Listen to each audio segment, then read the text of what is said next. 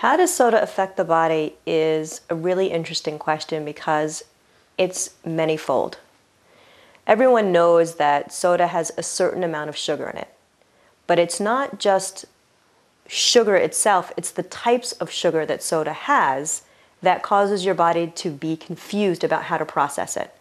High fructose corn syrup, which is now all the rage, everybody's talking about it, what it really is, is a false sugar. Corn syrup in and of itself is just a plain syrup. It doesn't taste like anything. The high fruit, the high fructose is what they take natural sugar um, and they actually strip it of its nutrients and they just leave the sweetness of it.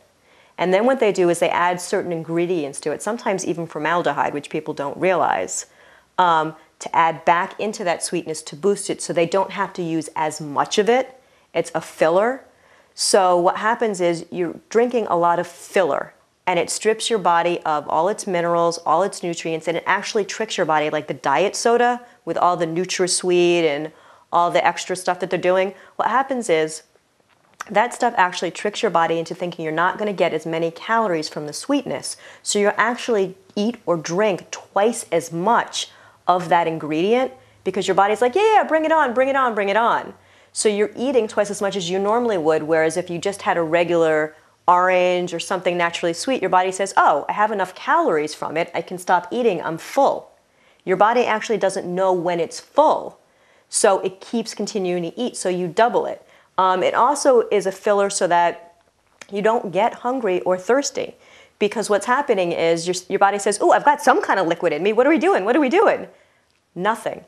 It sets you up for roller coasters of highs and lows because you get that sugar, that empty sugar high. And then when you go to crash, instead of eating something good for you, you think, I just need another high. It's kind of addictive. It's like um, heroin in the sense that your body system doesn't know how to suffice on its own. So what it's always doing is telling you, you need more, you need more, you need more. So um, what happens is it basically tricks your body into thinking it's not getting as many calories as it needs it's stripping you of all your natural nutrients for anything you do eat. So if you eat an apple or if you're eating a whole wheat carbohydrate, it's actually taking away from the good foods that you're eating.